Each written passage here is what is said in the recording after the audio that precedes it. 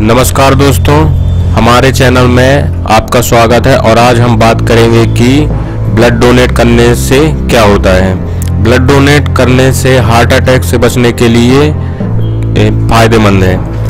कुछ अध्ययनों से पता चला है कि रक्तदान दिल के दौरे की संभावना को एक बटा तीन गुना कम कर, कर सकता है।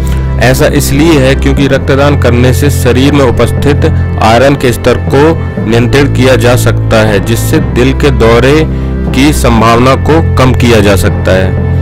यद्यपि लोहा शरीर के लिए आवश्यक है, लेकिन आयरन की अधिक मात्रा शरीर में ऑक्सीडेटिव क्षति का कारण बन सकता है। ऑक्सीडेटिव क्षति विभिन्न प्रकार की बीमारियाँ, जैसे हार्ट अटैक, स्ट्रोक और उम्र बढ़ने संबंधित लक्षणों को का बढ़ाने का प्राथमिक कारण माना जाता है। इसलिए शरीर में मौजूद लोह स्तर को नियंत्रित रखने के लिए तीन महीने में एक बार रक्तदान करने की सलाह दी जाती है।